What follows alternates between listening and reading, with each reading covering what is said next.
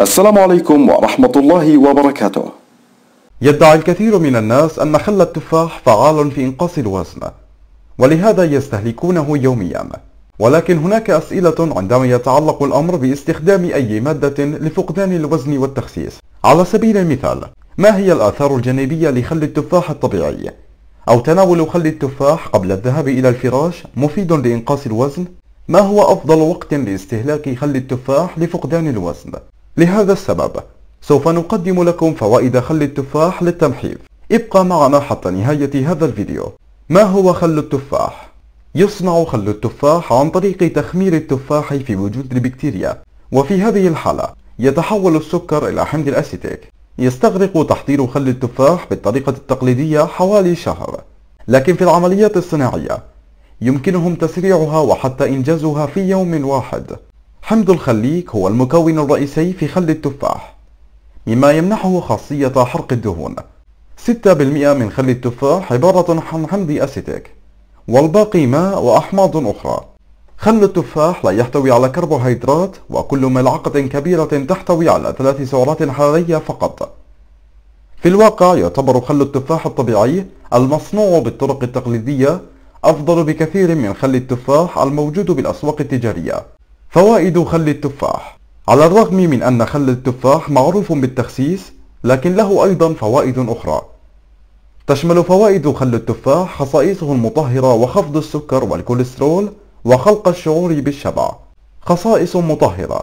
في الطب التقليدي ومنذ العصور القديمة عندما تم استخدام مطهرات أقل تم استخدام خل التفاح لتطهير الأسطح وحتى علاج الفطريات والقمل والتهابات الأذن. وحتى البثور. خل التفاح له فوائد مطهرة بسبب حموضته ويمكنه أيضا زيادة العمر الافتراضي للطعام. السيطرة على مرض السكري. مرض السكري من النوع الثاني والذي ينتج عن قلة النشاط وسوء نمط الحياة. يؤدي إلى ارتفاع نسبة السكر في الدم ومقاومة الأنسولين. تتمثل إحدى فوائد خل التفاح الطبيعي في خفض نسبة السكر في الدم. والتي يمكن أن تساعد في السيطرة على هذا النوع من مرض السكري وعلاجه. وكذلك منعه لدى الأشخاص الذين لا يعانون من مرض السكري. في الكثير من الدراسات والأبحاث التي أجريت على خل التفاح تم إثبات تأثيره على خفض نسبة السكر في الدم علاج الأكسمة الجلدية. يستخدم الكثير من الناس خل التفاح لعلاج جفاف الجلد والأكزيما والذي يستخدم أيضا بشكل ضئيل في منتجات العناية بالبشرة. غالبا ما تحدث الأكسمة وجفاف الجلد بسبب درجة الحموضة القلوية للصابون. ويمكن أن تساعد حموضة خل التفاح في تقليل الجفاف والأكزيما لدى بعض الأشخاص. يمكن أن يكون فعالا أيضا في تقليل التهابات الجلد. بالطبع من الأفضل عدم استخدام خل التفاح على بشرتك دون استشارة الخبراء لأنه قد يضر بها.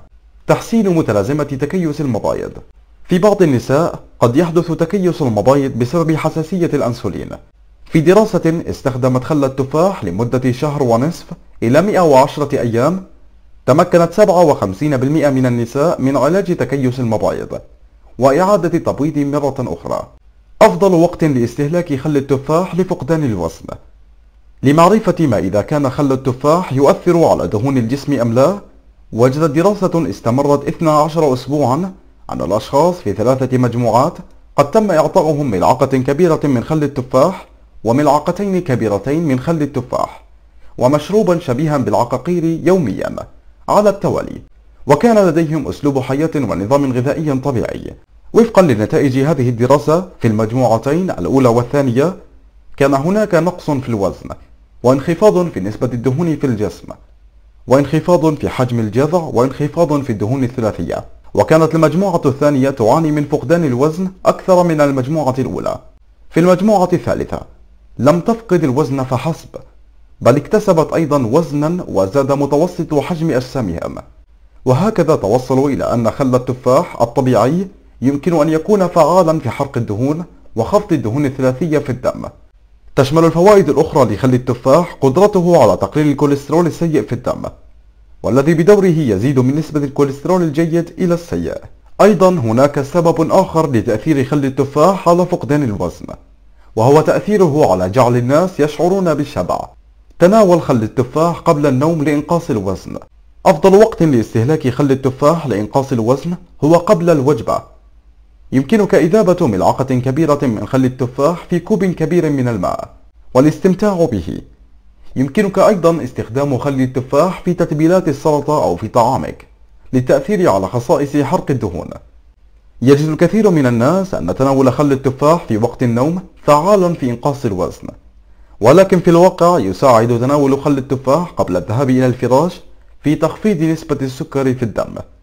ونتيجة لذلك إذا قمت باختبار السكر في الصباح فإن نسبة السكر في الصيام تقل بنسبة 4% لكن لا يمكن القول أن تناول خل التفاح قبل النوم فعال في إنقاص الوزن. الآثار الجانبية لخل التفاح لا يمكن أن يكون استهلاك خل التفاح لفقدان الوزن آمنا تماما وقد يكون له آثار جانبية. مشاكل في الجهاز الهضمي.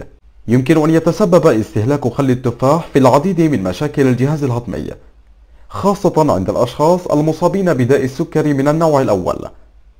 أثناء هذه المضاعفات يبقى الطعام في المعدة لفترة أطول. ونتيجة لذلك يصبح الجهاز الهضمي معطلا. مما يؤدي إلى أعراض مثل الانتفاخ والغثيان وما إلى ذلك. ترجع الآثار الجانبية المعوية الأخرى إلى تأثير خل التفاح في تقليل الشهية. أظهرت بعض التجارب أن الشعور بالامتلاء وفقدان الشهية مما يؤدي إلى انخفاض تناول السعرات الحرارية يرجع إلى مشاكل في الجهاز الهضمي ويمكن أن يسبب أيضا الغثيان. إزالة من الأسنان. يمكن أن تؤدي الحالة الحمضية للخل التي يسببها حمض الأسيتيك إلى تدمير مينا الأسنان. أيضا نظرا لأنه حامضي مع اللعاب يمكن أن يؤدي إلى تفاقم التأثير الحمضي للخل وبالتالي تآكل مينا الأسنان. انخفاض البوتاسيوم. خل التفاح في بعض الحالات يقلل من مستويات البوتاسيوم في الدم كما أنه فعال في فقدان العظام. بالطبع يحدث هذا مع الاستهلاك المفرط لخل التفاح. حروق المريء وحروق الجلد. عند الأطفال يؤدي تناول خل التفاح إلى حرق المريء. لهذا السبب يجب أن يحفظ بعيدا عن متناول الأطفال.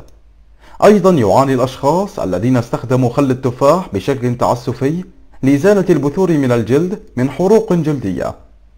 وهي أكثر شيوعا عند الأطفال.